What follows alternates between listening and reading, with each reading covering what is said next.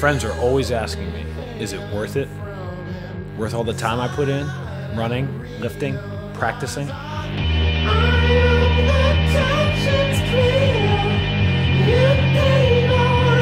Sometimes it's just not worth explaining. Because the answer lies in a sold out arena. Please welcome number seven, Kyle Sweeney.